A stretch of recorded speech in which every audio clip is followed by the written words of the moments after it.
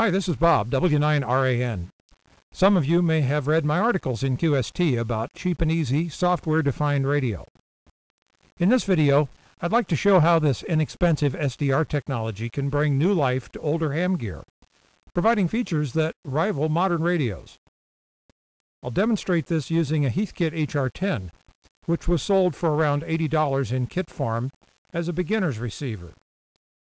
I think the HR10 is a pretty good little receiver for what it is. It's fairly sensitive and stable, and while the two-pole crystal filter provides better selectivity than most low-price receivers, it is a compromise for all modes.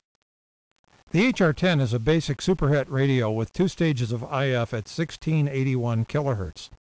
For this demonstration, I tapped the output of the mixer tube using a small capacitor to feed the same signal to the SDR that normally goes into the crystal filter and the radio's IF and audio stages. The heart of the cheap and easy SDR is a digital TV dongle that includes a VHF UHF tuner.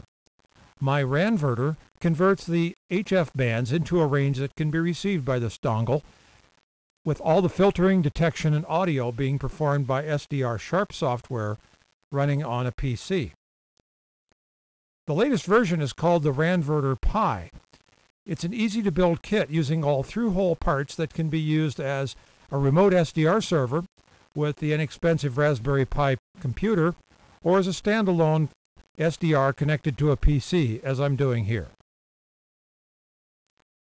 Now let's take a listen to what the HR10 sounds like with digital signal processing and a spectrum display that works just like a pan adapter to show more than 100 kilohertz on either side of the IF frequency. All tuning will be done by turning the HR10's tuning knob, and the audio you hear is coming from the PC. Yeah, I can't see at night. All the headlights look like the Star of Bethlehem, and I can't.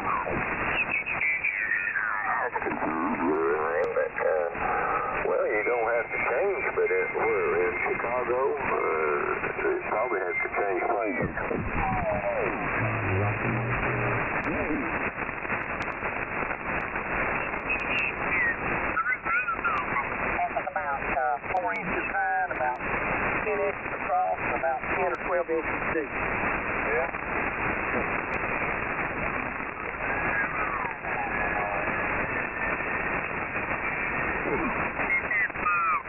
Off that uh, heat shrink and uh, unsolder all that and unsolder the center and the shield.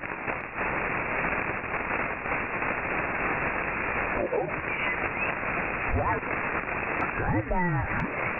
uh, waterfall. The chuck crap that uh, I've to reboot it again. I just rebooted it about three minutes ago.